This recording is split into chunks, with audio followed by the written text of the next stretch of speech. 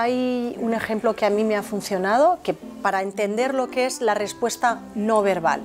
Si tú vas en el coche con los y no se quieren poner el, cinturón, que es una guerra constante, tú ya lo has dicho, que cuando, está, cuando el coche está en movimiento es necesario por seguridad llevar el cinturón.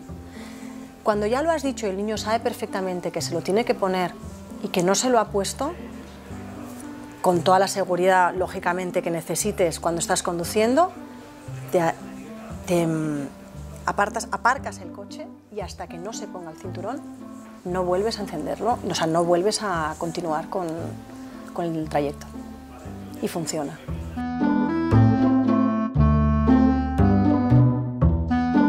Lo que pasa que, claro, requiere de qué requiere? De estar en calma, el padre, de no ir con prisas.